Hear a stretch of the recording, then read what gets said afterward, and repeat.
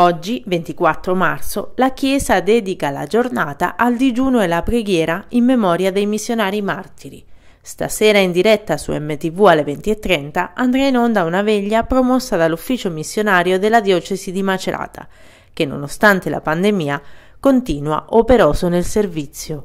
La cosa che stiamo vivendo è quella della scuola diocesana missionaria e sperando che quest'estate poi qualcosa si possa aprire, eh, vorremmo, ci stiamo attivando per proporre delle esperienze sul nostro territorio di prossimità, di vicinanza, a, a realtà che pensiamo che magari eh, vediamo in televisione o pensiamo sempre lontani, invece stanno anche qua da noi. E in specifico stiamo lavorando per contatto, contattando un'associazione che è On the Road, che lavora ed è presente all'Hotel House eh, come anche con la comunità Papa Giovanni di Tresimo che ha un'equipe, chiama un'equipe di strada per la prossimità verso le ragazze schiavizzate, eh, diciamo, no, attraverso la tratta della prostituzione e, e sarà possibile, ecco, vivere e, e, preparandosi un po', cercando anche che non sia, come dire, andare a vedere una mostra, insomma, chiaramente, ma veramente impegnarsi per un tempo ad essere prossimo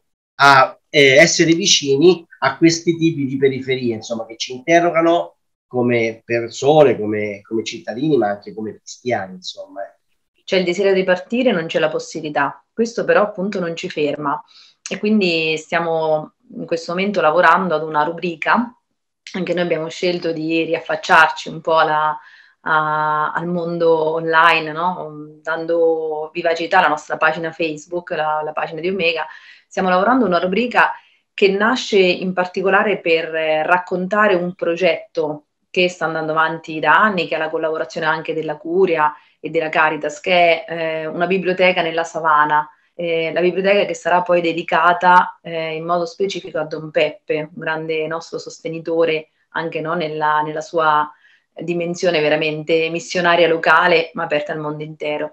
E quindi da, dal 6 aprile ci saranno tre appuntamenti serali dove metteremo in rete alcuni incontri? Allora, noi adesso stiamo facendo un'attività un po' più pratica, nel senso che sempre per una raccolta dei fondi abbiamo messo su un laboratorio di cioccolata tramite un pasticcere e praticamente siamo una 35 di volontari che quasi tutti i pomeriggi facciamo dei cioccolatini.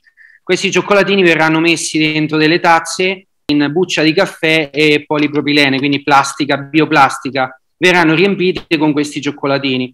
In, in questo periodo ci, siamo, ci, stiamo anche rendendo conto che non dobbiamo lasciare la nostra eh, intenzione missionaria, no? Cioè comunque un'attenzione al, alla missione ce la dobbiamo avere sempre, quindi eh, noi comunque ci incontriamo via Skype o via, ecco, via messaggio per... Eh, comunque sentirci e capire quali, quali, saranno i nostri passi. Anche noi attendiamo, no? come tanti altri gruppi, di poter tornare su, giù in Africa, quindi per adesso lavoriamo così.